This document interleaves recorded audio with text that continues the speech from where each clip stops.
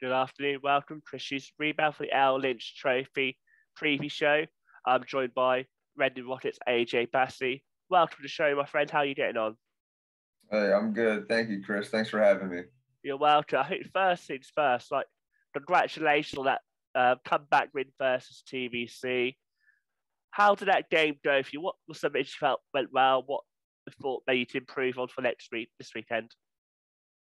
I thought we uh, we kind of started the game a little flat, came out a little flat. Um, uh, weren't really sticking to our game plan, and um, we got off to a pretty slow start. Got into some foul trouble, uh, kind of threw a wrench in our rotation and stuff, and um, yeah, like they kind of just played right into right into sort of their their style and and and, and the way they, they kind of want to play. Um, definitely would not like to play from behind like that a whole lot more. You know, it was nice to come back and win, but um, yeah, you know, they're they're a really talented team, really athletic, had a lot of height in the paint. So it gave us some troubles in the first half. Uh, we weren't really boxing out, rebounding a whole lot uh, as as a unit. So uh, kind of cleaned that up, cleaned that up in the second half, and we're able to come back. Yeah. And as pre-seasons go, obviously this year the Lynch Trophy is sort of part of a pre-season, but you've had the Taylor Classic, and you're in a really competitive group in your your um, division with the likes of South, TVC, Hemel, and Oaklands. How's both the Taylor Classic and this been in terms of getting you guys ready for the season? Yeah, it was. Uh, it's it's been great. Um, the, the the couple games at Worthing were nice just to get like our legs under ourselves and get out there as a unit. Uh, we were kind of practicing against each other for a couple weeks at that point, so it was nice just to see a different team on the floor uh, just getting back to used to you know playing a game, having refs, having fans at the game. It was great, nice atmosphere. Um, we were down quite a bit of bodies that weekend, so um, it was just good to get some video, get some get some tape on ourselves, and see how it looks against other teams. Um, I think that was kind of the main point of that weekend for us. Um, and then these couple of games in the Lynch, um, we have a pretty pretty solid group with um, you know we have Oakland's the young team in there, but uh, the other three teams I think are pretty pretty high quality. Um, should be amongst the top of the standings this season. So um, playing against Thames, playing against Hemel, um, I think it's sort of just getting us ready for uh, the start of the regular season as well. I totally agree. And I think it's a very competitive season. Having played TVC last weekend and obviously played them last year with Worthing, how would you compare the TV side this year compared to the TVC last season? I appreciate obviously it's just one game, but early thoughts on them. Uh, yeah. So I um, so when I was in Worthing, that was before the COVID season. Before COVID, yeah. So um, obviously, uh, Blaine's been there for a little bit, and you know he's been holding down the guard spot for them, and heck of a shooter. Um, they've they've typically you know they've had Hakeem as well there, and it's it's been a team that's you know that can light it up pretty quickly. From when I was there, you know they had Taylor Johnson was there, Lewis was there. Um, team that can really light it up, pretty athletic. So that sort of has still kind of been there for them. Um, obviously, you know, a few guys have, have, have changed in and out. Um, but uh, yeah, like it's, it's, it's been a team that's been typically pretty pretty dominant around the rim and in the paint. Um, and that was a huge focus for us. Uh, you know, we had to kind of limit that when we played them. And as you mentioned, obviously you played for Worthing pre-COVID. I meant seeing them in the Taylor Classic. What do you think to them? what what what do you, where do you think they'll finish roughly this season? Uh, the Worthing. Yeah. Yeah, so um, I think I think they got a they got a pretty solid veteran group. You know, their veteran core um, with with Tom and Ish and, and Zaire, um, and then um, having having Crawford there and and Abdul and their pickup of uh, Dixon, I believe the, the taller guard there. Uh, I think they they have a they have a good group. Um, uh, that I, I, think they would definitely be a playoff team in my mind. Um, very tough. It's a good environment to go play in as well. Um, so I, would expect them to be a pretty uh, pretty good team this year. We like to get people on the show. It's like to hear about memorable moments of training. What have been been some of your highlights, if, or bloopers, or ankle breaks the other guys do, but sort of stick out for you from the last few weeks of training? Um, well, I think uh, I've seen or there's a clip going around. Um, we had a we had, we had a big play from Cartaino um, in our in our last game here, and and you know it was a very exciting moment. Uh, I think it was, a, it was a, big shift in momentum for our game, and and, and it's huge you know run that we went on the fourth quarter, and um, you know from being such a pivotal play leading to a timeout. Um, we go. I think we see uh, Reis and uh, Cartaino go uh, chest to chest, and they both just tumbled over. uh, yeah, our team's been having a good laugh about that whenever someone ends up sharing it. Yeah, I've seen that doing the rounds. I think um, I can't remember the name of the person, but I'll put the clip in the description below. Really funny. What was your reaction when you first saw that? It was really funny clip. Just like you said, it was a breakaway move, change momentum, Reis went to celebrate, and you know the rest, you know, been on social media already. Yeah, so um, like when it originally happened, uh, I was on the floor as well. It kind of happened right in front of me, and uh, know I kind of yeah, I was surprised. Um, kind of, you know, try to try to keep a straight face and you know keep it moving, get into the huddle. Um, so I didn't think too too much about it, but uh, once I saw the clip, I definitely had myself a good laugh. But it's nice to know I kept a kept an okay poker face when it was happening right in front of me. Of course, the camera's always showing. Obviously, this weekend you are playing at Solent and and the Hem the Hemel game as well both games will be live streamed, so we'll be looking out for more funny moments. With that game, and I say the momentum changed at that point with the timeout, and maybe coach able to instruction better to you. What are some of the things that either coach or the senior guys saying during those moments help change the tide? Well, the biggest thing was just kind of hitting the reset button at halftime. Um, you know, uh, we, we I, I thought apart from apart from the the actual win, um, I thought it was just it, it was such a great um, sort of show of like our team's characteristics and and the way we we stuck together and fought. Um, that it was, it was it was it's huge to have that kind of moment and have that test so early in the season. Um, so really, like uh, throughout the whole first half, you know, a lot of things weren't going our way you know, bounces weren't going our way. And um, they're able to build like a 15, 17 point lead. And, and um, yeah, we kind of just hit the reset button at the half. Um, you know, coach sort of reiterated our game plan, things that we have to do with certain players, certain plays.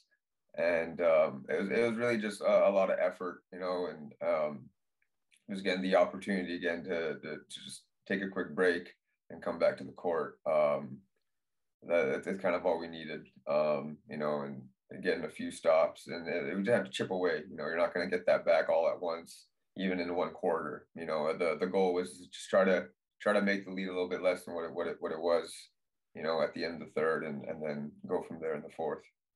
Well, you, you guys executed really well. Talked about quick breaks. A quick word about our sponsors of this video. Three sponsors, Always Ballin. This video is freely sponsored by Always Ballin. We started offering freely sponsorship packages so that we can promote both yourself and our brand in a joint collaboration. For those who do not know, Always Ballin one of the premier brands for British basketball clothing. They started out 2011, inspired by basketball with a uniquely British take that basketball communities worldwide of all ages, cultures, and nationalities that connect with and show their love and support for the game. They have a growing range of t shirts, hoodies, wristbands, performance wear, and bags. They also have customizable options. They also support the game by having a team of brand ambassadors throughout British basketball, showing the light of what they are doing in the game today and in the past. As you see here, I'm wearing Always Ballin t shirt. We collaborated of earlier on this calendar year to raise money for a charity that's close to my heart, Mind Charity. I'll put a link in the description where you to find the t-shirts and also more about Mind Charity. For the purpose of this collaboration, for myself, I took no funds from this club. My cut to go to charity for the good work that Mind Charity does, helping people in crisis and also doing awareness of mental health uh, conditions. It's been a really successful uh, collaboration we've raised, I say, for the exact figure as I go to air, is £112 that we've raised on my charity. That's a really great contribution to the charity. And thank you for everyone who's bought a t shirt. T shirt's still available online, but for a limited period. You can get your rebound colour base as, as uh, modelled by myself. They're available in array of team colours in the NBL. Um, go and check out the site for your chance to get one before they go. They'll be on Always Ballin site for the next week. So around the 7th of October, they won't be available. So get yours now if you don't want to miss out on this exciting shirt. If you like that shirt, obviously, we'll probably do more collaborations in the future. Watch this space for the latest updates. Also, watch this space for further developments. While I've got your attention, also, be sure to like and share this video and uh, be sure to subscribe to the channel. So, like you said, it was a really good game, and you guys managed to come back well. And you've got a double header this weekend. How's how's coach prepared you for those two games? Are you looking at Solent first, then Hemel, or is there a little bit of both? Because there's a short turnaround between the two games. Yeah, we're definitely definitely looking at uh, a little bit of both. Um, you know, Solent being the first opponent, um, got to you know we'll focus on them a little bit more. Um, and uh, and then yeah, like we'll, we'll we'll be preparing for Hemel as well a little bit throughout the week, and then really try to shift our focus as soon as that first game ends, and you know start start looking at them this, for the for the second game. And I don't want to get too deep into my next question, it's a, a service level question, but obviously Reis Pinnock left, went into Solent, come back. I imagine having him playing at Solent for that little time during pre-season, he's probably got a bit of an inside edge. Has he been able to give you some like useful tips in terms of when he been uh, in the leader for this big game? Yeah, yeah, definitely. Um, especially in a in a in a league like this, and a it's there's been a lot of a lot of roster turnover. You know, from season to season, a lot of guys, a lot a lot of familiarity. You know, guys play against each other or with each other for years and years. So um, having having a few guys on the team that have sort of been around for a while, know a lot of guys, it's very helpful. But then, yeah, Reis just you know coming fr- fresh from there after spending like a month with the team uh, in terms of just scouting report, understanding player tendencies, you know, things that they like to do. Obviously, it's no it's no secret. You know, you can watch tape on the player as well. So, but it's, it's just nice to have that have that knowledge kind of firsthand, and and he's been he's been great, really helpful. You know, getting us uh, getting us ready and prepared. Definitely, and um, in terms of training intensity, do you as players notice a difference in terms of training head of double head? Do you take it slightly less hard, or do you still have the same intensity for a doubleheader weekend? Um, I think it, we just gotta be smart about you know uh, about the, the the load later in the week, but um, in terms of our our training schedule or plan, it's it's kind of the same you know most weeks. Um, you just you just got to be a little bit smarter with, uh, with, with workouts and, and, and maybe the duration of our training sessions, but uh, we're still we're still preparing sort of the same same sort of way. See, Sunday is the last group game in the LLynch Trophy, guys. You got the advantage group for 2-0 record, a Hemel 1 0, and I think TVC 2 1. Uh, what are you expecting from Hemel this weekend? I expect a really tough game. Uh, I think they're I think they're a really good team. They got a great roster for the end of the season. You know, obviously they had a they had a they had a good run last year, um, getting all the way to the, the championship game in the in the playoffs. Um, so I know their their core that they brought back uh, with the Player of the Year. Um, they're going to be tough. You know, obviously picking up uh, Johnson from uh, from Thames Valley was a big pickup for them. Um, Sam Newman coming back to the team. Um, so I know they they're going to have a have a good great great lineup put together we're expecting two tough games this weekend, but um, I think, think, it's a great test really early to get us started with uh, the rest of the campaign. Yeah, and obviously everyone's waiting to hear about the LLynch Trophy knockout stages. I understand there's no draw this season, but they'll release the dates when they, they can shortly, but that, that'll be them released in due course. Having had to play the guys in the Taylor Classic, seeing teams around the league get the wins and losses and playing the teams you've played. Do you feel like you're getting a better idea who you might expect to be in the top four? Or is it still such an open lead for you guys this year?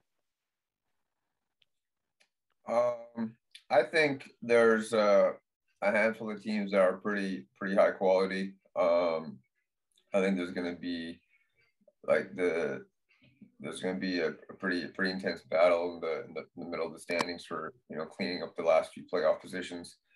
Um, but yeah, like based off from last year to this year, um, you know, obviously you know what to expect from Solent um, and, and Thames Valley, Hemel. I expect to be right up there as well uh, with ourselves. We have high expectations, um, high hopes for this season. Um, from what I know, uh, Nottingham has you know put together a, really solid roster as well, and uh, Derby, you know, expect them to be good again. So I think there's really, you know, I'm looking at five, six, seven, eight really, really tough teams um, that that will be, you know, on any any week, any game can sort of sort of beat anybody. Yes, very competitive game. A little similar time to when you guys play Solent. Um, your former club, Worthing, from a couple of seasons, play Essex. What do you think will happen in that game? And have you spoken to any guys since and sort of what sort of talks do you have behind the scenes from the clubs? I would expect, um, you know, I don't know a whole lot of Essex, um, but I know compared to Worthing, um, I, I, I, do think they're, they're, a little bit younger, a little bit less experienced, and you know, Worthing having that sort of veteran veteran group, um, you know, a good group of players. Uh, I, I would expect Worthing to to come up with a win in that uh, Lynch game. And I know Reading has a venue issue in terms of games being played behind closed doors.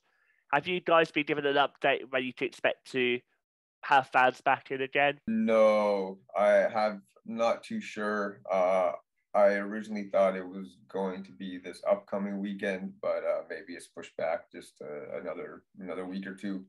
Um, so no no no set update has been given onto what game will be moved, but uh, yeah. So as of now, this week this weekend as well. Uh, we found out it'll be behind closed doors.